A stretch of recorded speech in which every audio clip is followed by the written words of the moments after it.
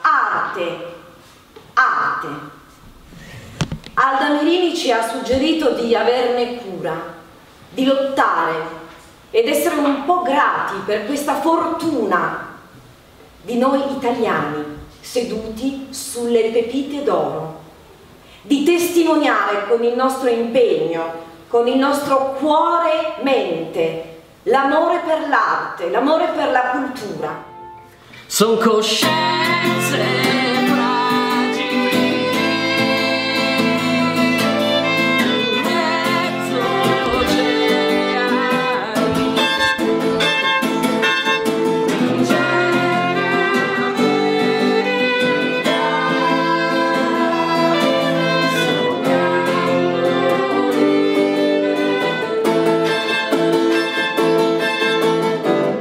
L'arte per, per definizione è espressione, l'espressione è figlia della democrazia, quindi c'è un cortocircuito che dovrebbe uh, riprendere piede. Diciamo che il, la grossa sfortuna in questo periodo storico che è così faticoso e che naturalmente, essendo considerato quasi un bene di lusso, non è fondamentale e non è intesa esattamente come un momento necessario per la crescita del paese. Siamo stati un pochino anestetizzati, siamo stati frustrati, siamo stati avviliti da quello che è successo negli ultimi vent'anni, però ci sono sacche di resistenza culturale che fanno assolutamente ben sperare.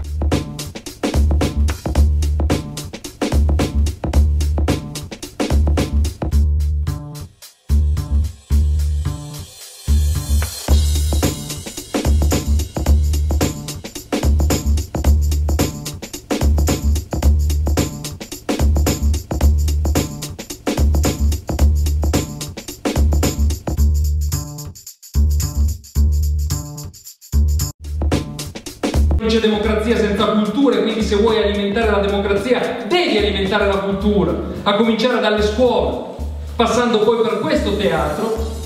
Montagne di denaro ci sono, ma non servono alla democrazia, non servono alla democrazia, servono ad altri, servono ad altro. E il compito della politica, della politica nella quale noi crediamo dovrebbe proprio essere principalmente riacciuffare queste montagne di denaro che ci sono nei traffici illeciti, nell'evasione fiscale, nella corruzione, nei soldi sprecati, in investimenti che non servono e non sono prioritari, nelle guerre, riacciuffare questi soldi e rimetterli a servizio della democrazia e quindi della cultura. L'unico modo per non fare più l'utile idiota è crescere nella nostra capacità politica, nella nostra forza rappresentativa e nella nostra caparbietà, che noi non scendiamo da questo treno in corsa, ma vogliamo guidarlo e guidarlo meglio di come è stato fatto deragliare fin qui.